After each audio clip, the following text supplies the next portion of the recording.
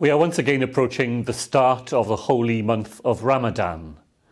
Ramadan is an opportunity to pause and to be reminded of our most precious and shared values values of compassion, sacrifice, and empathy for others. We begin this year's Ramadan with more hope in our hearts.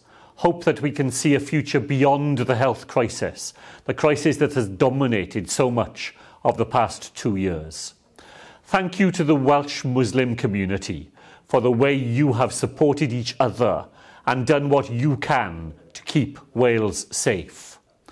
We're also grateful for the way in which you are opening your hearts and your homes to welcome people from Ukraine seeking safety in Wales, a true embodiment of our nation of sanctuary. Thank you all. As Muslims across Wales begin their fast and celebration of their faith, I'm always inspired by the stories of people supporting one another and sharing with those who are less fortunate. Know that we support and praise your selflessness and your sacrifice.